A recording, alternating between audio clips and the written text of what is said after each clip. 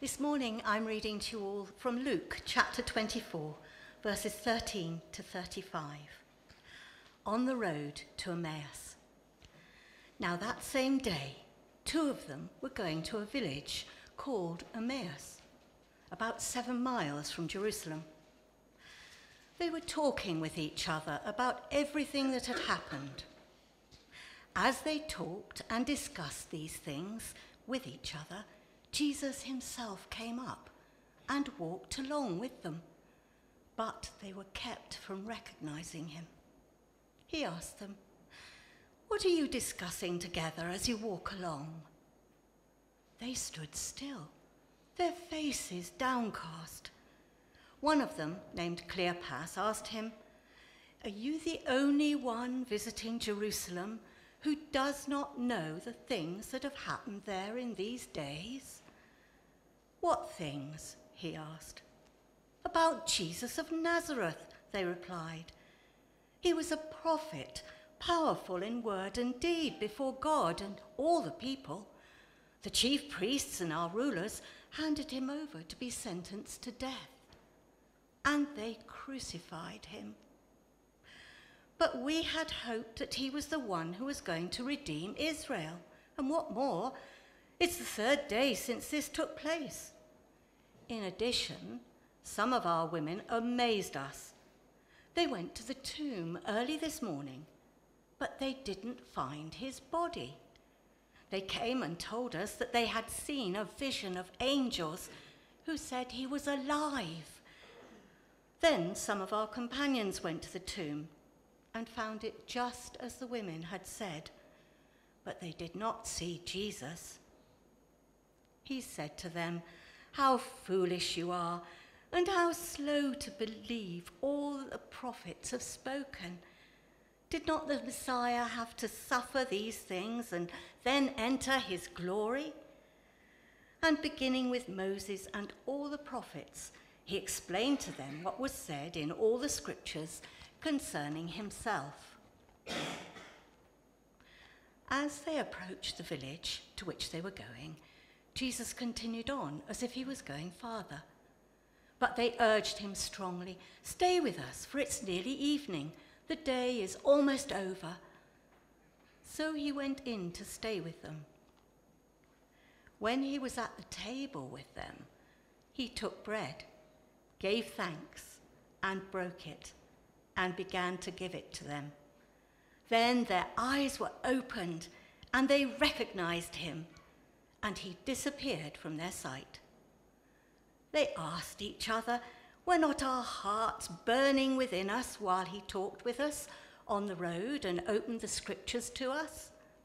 They got up and returned at once to Jerusalem. There they found the eleven and those with them assembled together and saying, it is true, the Lord has risen and has appeared to Simon. Then the two told what had happened on the way and how Jesus was recognized by them when he broke bread.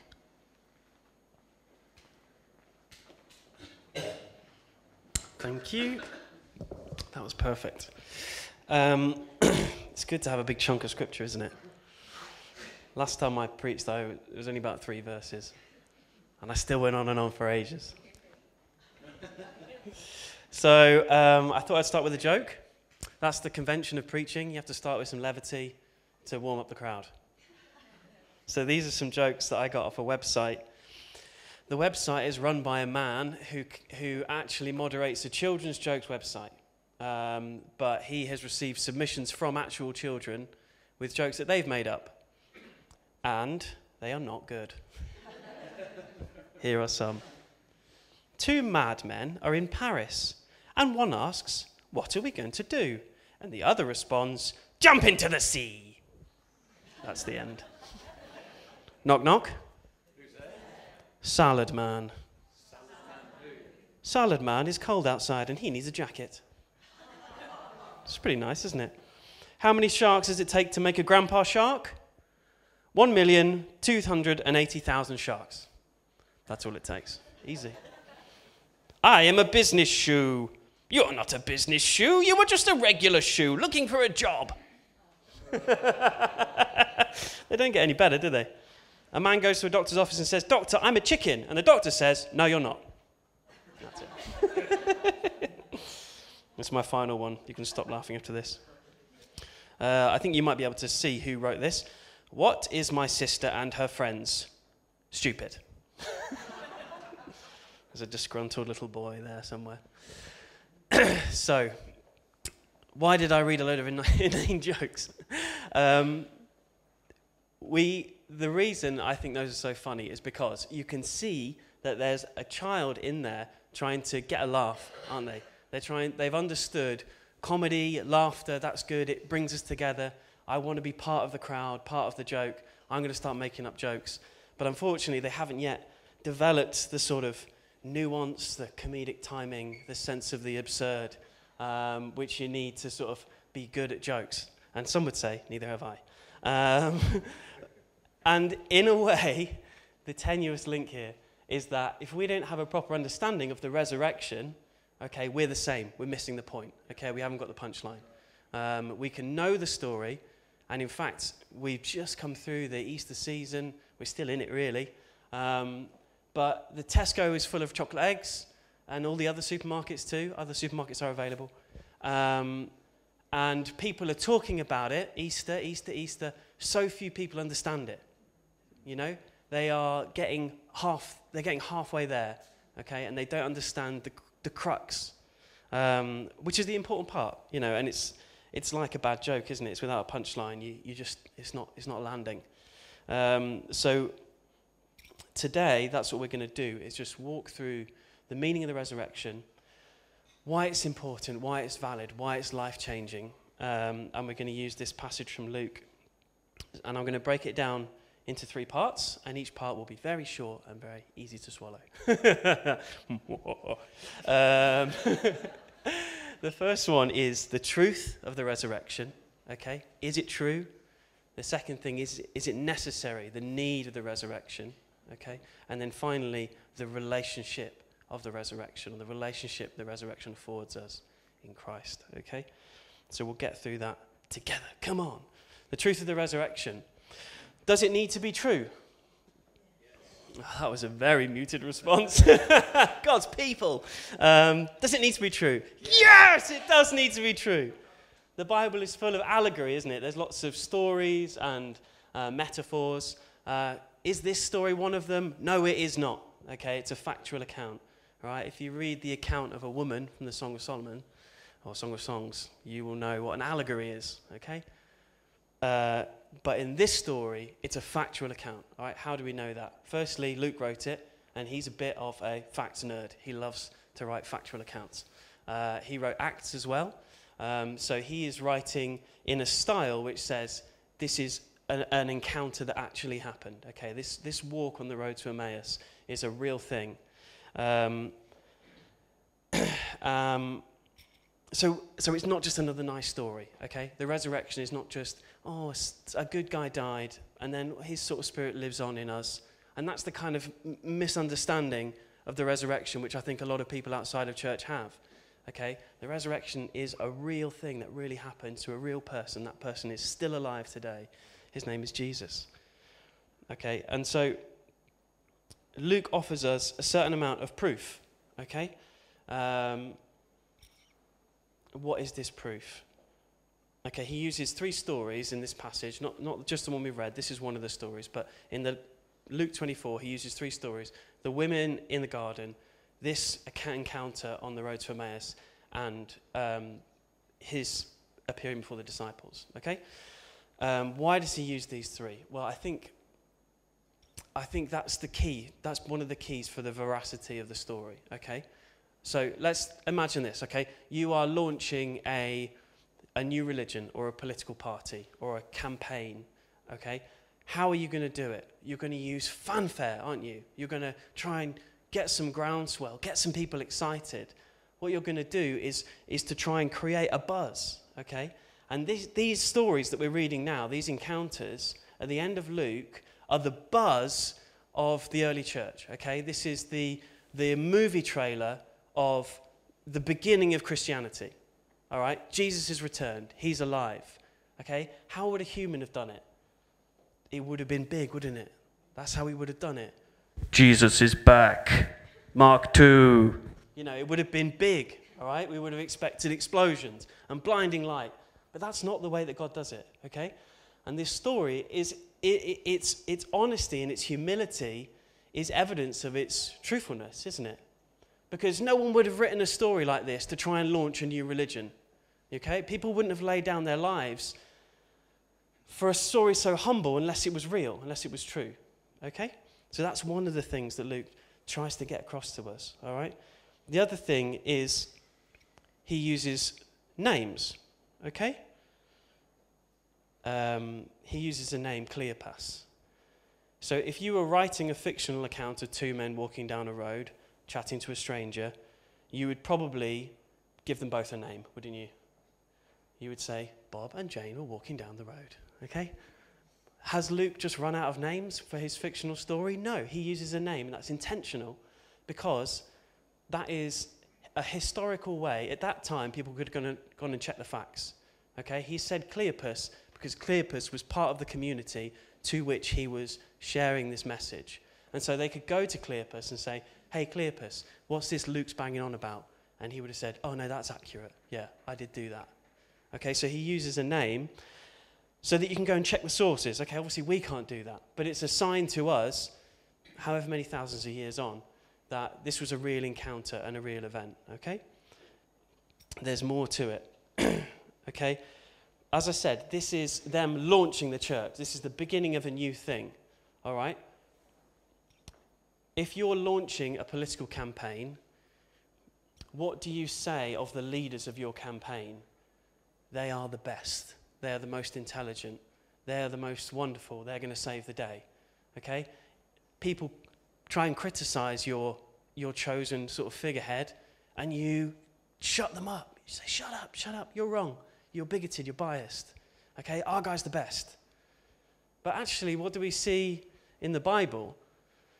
All the stories of the gospel are of the ineptitude of the disciples. Okay? They are arrogant, they are proud, they are selfish. They fail time and time again. They let Jesus down in the most horrendous ways in his moments of need. They are gone. Uh, but these are the guys who are now the heads of the church. Okay, these are the guys who are turning up to church every Sunday saying, Oh, let's talk about the time that I really screwed up again. You know, that's, that is the gospel message, is the, the inane disciples who then are now leading this incredible revolution you know, going on about how much this messed up. And humans wouldn't do that, would we? That's not how we'd start things off. That's not how we'd kick-start a new religion by just banging on about how our leaders messed up and messed up and messed up.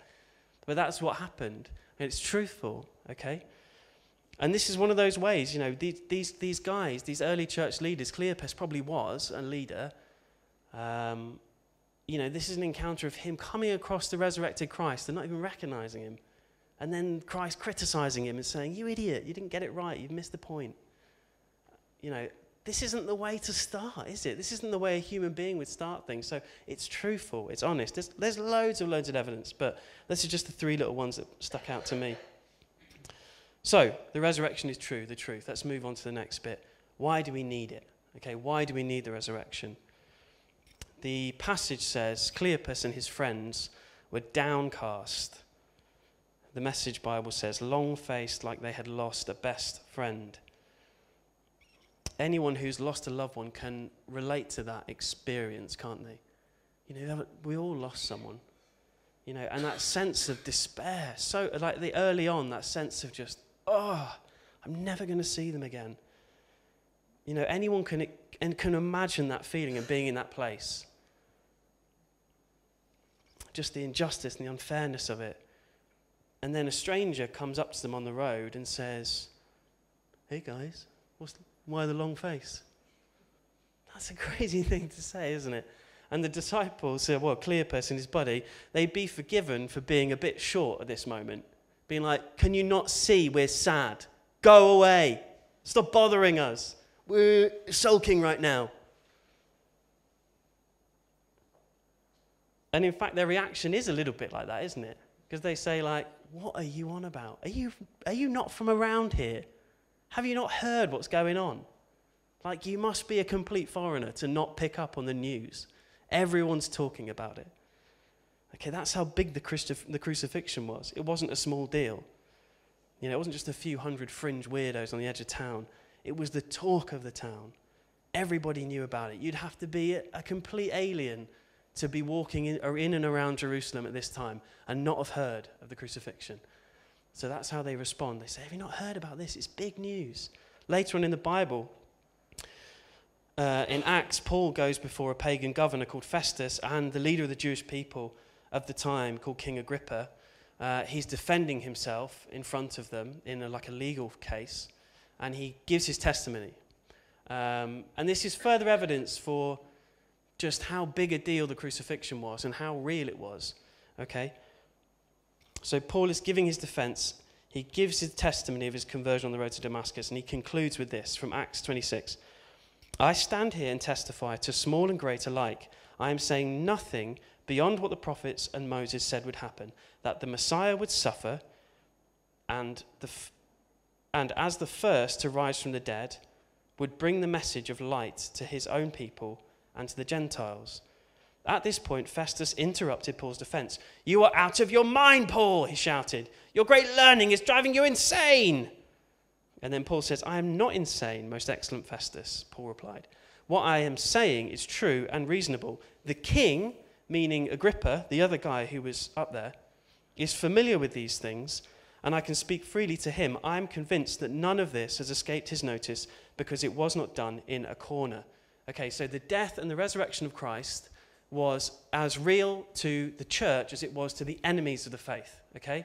King Agrippa was not a goody, right? He was a baddie. But even he couldn't deny what, was, what had been going on in that time. And even years later, Paul could bring it up in front of him and say, King Agrippa, you know what we're talking about here. And in the passage after that, King Agrippa, he doesn't really say much. He just sort of makes a joke. Um, and then they kind of move on. but, you know, everyone was aware of the resurrection. So th- the response of Cleopas and his friend is fair enough, all right? It was familiar enough to everyone at the time. So everyone would know why Cleopas and his friend were sad. And, and, and everyone would understand why they were amazed at Jesus' question. Like, why are you guys so sad? Obviously, we're sad. So they're sad because they lost a friend. But actually, it goes beyond that for these guys. Okay? Um, in the passage, it says, he was, a, uh, the Cleopas is talking here. He says, He was a prophet, powerful in word and deed before God and all the people. The chief priests and our rulers handed him over to be sentenced to death, and they crucified him. But we had hoped that he was the one who was going to redeem Israel. Okay, that's like an obituary, isn't it, of Jesus? And if you were hearing that, a great man in word and deed, you'd be like, yeah, I was pretty great. You know? It would be a good obituary to hear that from someone. Someone said that about me when I was dead. I'd be chuffed. Um, great in word and deed. How did Jesus respond to their sadness? How foolish you are, and how slow to believe all the prophets have spoken. wow, yeah. Next time you see someone mourning, you should go up to them and be like, You idiot. it's not fun, is it? It's not cool. You know, this is more like, why would they, why would they written this story this way? You know, Jesus is so critical of them. Why is he critical? And it understand is for us now. This is the learn. This is the lesson. Okay, um, this is why Luke included one of the this this account in his gospel because it shows us a meaningful way that we can connect with Christ. Okay, a meaningful way that our hearts can be set on fire like those disciples were. All right, because Cleopas's answer reveals uh, his understanding or misunderstanding of the resurrection okay? Because what he said is he was a great man, he was going to redeem us. And when, when he's talking about redemption, he's talking about the redemption from the Roman Empire. Okay? So what he was saying is he was going to redeem us from our circumstances. All right? He was going to take our lives and make them better in a circumstantial way. He was going to take us from oppression, economic oppression, political oppression. We'd see the Romans cast down, their empire overthrown. We wouldn't be subjected to their rule and authority. Okay? And that is what winds Jesus up. because he's missed the point. All right? There is a deeper reason, a deeper bondage, a deeper slavery, which Jesus came to rescue them from, which they have not understood. All right? And so his reaction is, Oh, I died for this. You haven't got it yet. He, didn't, he wasn't reacting like that. He's Jesus. Um, that's how I would have reacted. because up until the resurrection, true freedom from sin was unattainable. All right? Sin could be atoned for through sacrifices, but the law kept God's people in chains. All right? And, and, and this is what Jesus does. He, how does he get them to understand the resurrection? Uh, he opens the scriptures. Okay? And that's why Luke includes it, because he's giving us a lesson. Okay? This is how we access an understanding of the resurrection of Christ through the scriptures. Okay? He, so what Jesus did is he offered them a key, all right, to unlocking the word of God. Okay? Or eyeglasses to perceive the story behind the story. All right? Because up until that point, the people of Israel had been reading the scriptures from a moralistic standpoint. Okay, so they had been taking each story at face value, trying to pull a moral message from it, and then apply that to their lives. And that is what the trap that we fall into as well. Okay, David and Goliath. David was young, he was weak, he brought down the strong. The proud will be made humble. Something like that. Cool, let's move on. All right? This is not what Jesus was doing. As he walked on the road with them, he said, Look, David, selected because he was the weakest of his brothers, because he was the least, was selected and stood in front of the army of Israel as a propitiation for the wrath of the army of the Philistines, so that if he succeeded, the glory, the honor, the victory would be imputed to the nation of Israel. Okay? If he failed, if he died, the loss would be imputed to the nation of Israel. Okay? Jesus is saying, Don't you understand? This is me. This is Christ. Okay? The overwhelming force of darkness is sin, is death. And I'm standing here in the gap. And I'm saying, if I win this one, okay, if I am resurrected, then my victory, my life, my purity is imputed to everyone who believes in me. And, and, and, and the more that he talks through the scriptures, the more he explains the scriptures with this hermeneutic key to these guys, the more their hearts are quickened and lit up on fire. Okay? Because when we begin to see that, the story behind the story, the pattern of God's redemption, just the golden thread running through every word of the Gospels, every word of the Old Testament, that is when our hearts get excited. Yes, God is doing a work. He started it from the very start. He knew what he was going to do, he knew what was coming. Okay, so we need this. We need this. And, and, and the key to access it, one of the keys to accessing it, is the Word of God. Okay, it's so fundamentally important. I've got on a roll here and missed all of my words. So their hearts are set on fire.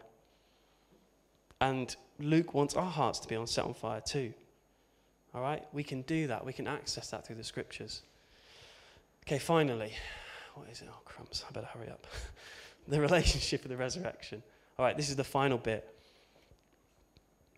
Um, Jesus was walking with men who knew him in his pre resurrection body and they did not recognize him.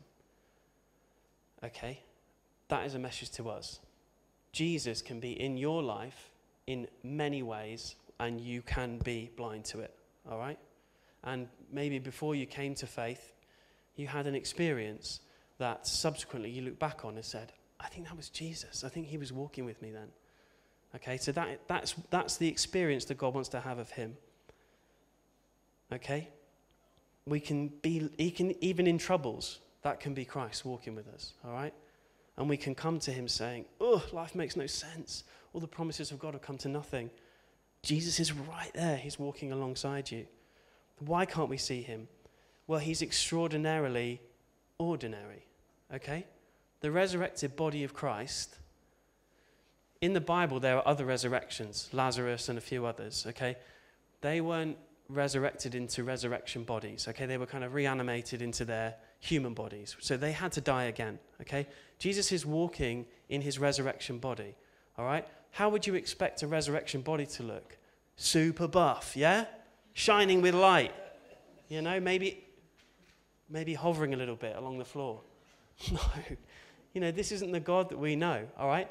He has created a resurrection body that is so recognizable that it can go unnoticed, okay? The relationship we have with God is, is going to be uh, recognizable as the one that we have on, with each other here on this earth, okay? It's not this esoteric, you know, mad thing with explosions and light. It's, it's this it's community, it's fellowship, it's reflected in the body of Christ as we see it now. You know, it will be better. No, of course it will. You know, but it's not going to be this profound change. And, and, and, it, and it reflects also God's work in our lives, okay? He walks with us, all right? He doesn't act with explosions and bright lights, okay? Sometimes we get a bit scared. Oh, God's not done anything in my life recently.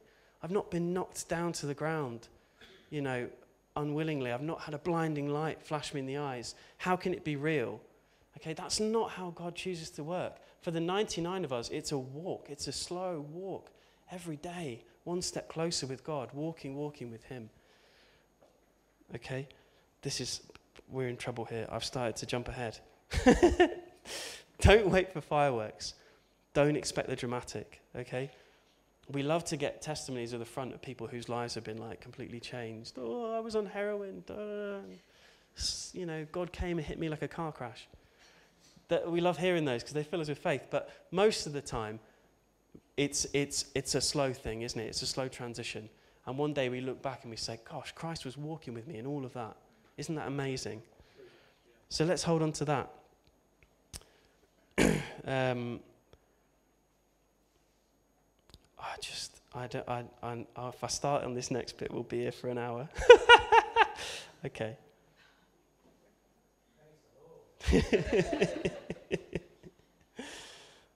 okay, right, I'll just finish with this. The action of walking um, is pr- a profound metaphor from the Bible. You know, he walked with Abraham, he walked with the Israelites, he walked in Leviticus. We want to walk with Christ. Okay, what is walking? It's slow, it's intentional, it builds relationship, okay? God doesn't ask us to somersault, He doesn't ask us to run, all right? It's not sustainable to do that thing, okay? God calls us into a, a sustainable relationship with Him where we walk with Him day by day. We are in companionship with Him, okay? We have the tangible presence of God sometimes in our hearts, but each day as we walk with Him, we know who we are, we know who He is, and we know we are fully known by Him. Okay? How does that change our lives? We walk with integrity. Okay? We're not different in different relationships, different circumstances, because we are always walking as someone who's walking with Christ. All right? We're fully loved, we're fully known. Okay? We can talk to Him and know we've been heard. We can hear Him and know it is from Him. You know, and we can have that proper engagement and relationship. Okay? Um, email is fine, text is fine, Zoom is bad, but a walk with a friend, it's so much more tangible, isn't it? So that's what our walk with Christ is. It's a day in, day out, continuous, mindful decision to walk with Him, to talk with Him, to understand that all of life is understood best through Him